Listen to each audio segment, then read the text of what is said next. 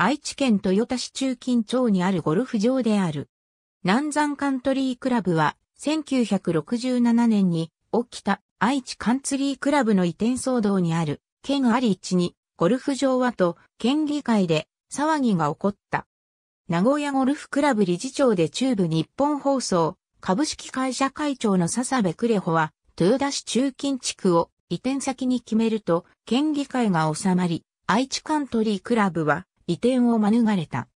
笹部は豊田市中近地区に新たなゴルフ場の建設を考え、1971年11月15日、経営母体、鴨の開発株式会社を設立し、社長に笹部が就任した。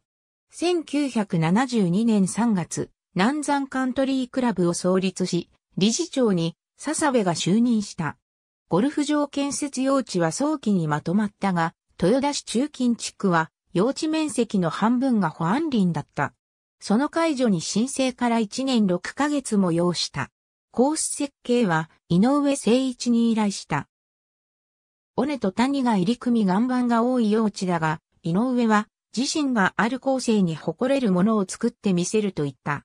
1975年11月1日、18ホールの造成工事が完成し、仮解除をされた。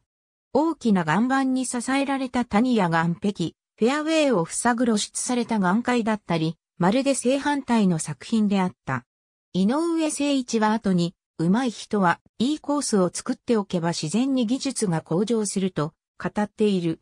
1976年10月9日、18ホールのゴルフ場は正式に開場された。郵便番号470-0312愛知県豊田市中近町市市が谷955番地鉄道道路。ありがとうございます。